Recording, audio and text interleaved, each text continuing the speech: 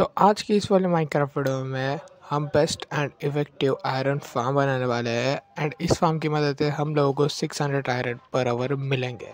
सो जल्दी से शुरू करते हैं। तो सबसे पहले हम लोगों को थ्री बाई थ्री का एक बड़ा गड्ढा कर लेना है। देन गड्ढे के हम लोगों को साइड में थ्री थ्री प्लेट करके चारों साइड में लगा देने हैं।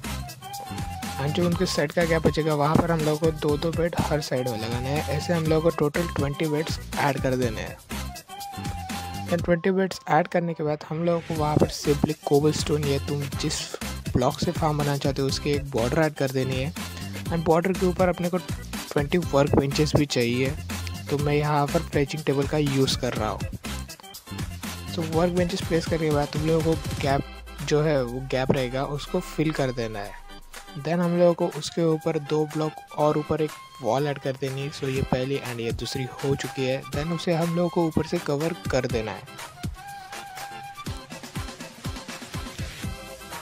तो कवर होने के बाद हम लोगों को थोड़ा बीच में आ जाना है, जहाँ पर हमने गड्ढा किया था। एंड गड्ढे के ऊपर के हम लोगों को थ्री बाई थ्री का सेम गड्ढा ऊपर भी बनाना है।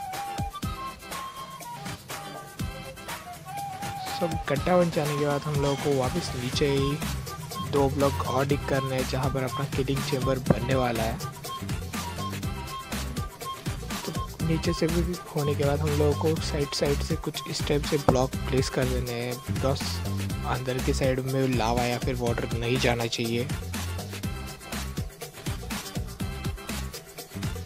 तो ये होने के बाद हम लोगों को यहाँ पर ट्वेंटी विलेजर्स को ऐड करना है एंड यहाँ पर जो वर्किंग विलेजर नहीं होते, वो तुम लोगों को ये ऐड नहीं करना है। देन हम लोग। को ऊपर आने के बाद यहाँ पर एक बॉर्डर ऐड कर देनी है। एंड बॉर्डर ऐड करने के बाद हम लोग को अंदर की साइड में कुछ नौ फेंस गेट लगाना है एंड उन्हें ओपन कर देना है।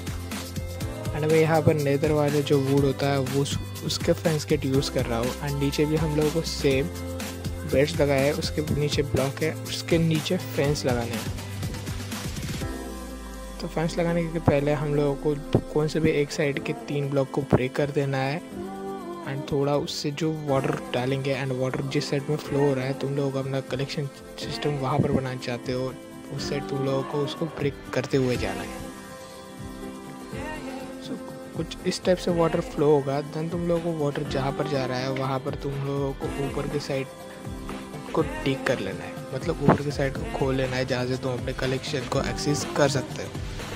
देन ऊपर आने के बाद जो अपने बॉर्डर ऐड की थी, उसके ऊपर हम लोग को लीव्स लगा लेने हैं बिकॉज़ उसे हम लोगों को स्पॉन प्रूफ बनाना है। एंड जो बीच के जो हमने ये प्लेस किए थे फेंस गेट वहाँ पर अंदर के साइड में हम लोगों को एक लावा डालना है, बाकी के फेंस गेट को ओपन कर देना है। देन ऊपर आने के बाद हम लोगों को चारों साइड में एक एक वाटर बकेट को प्लेस कर देना है।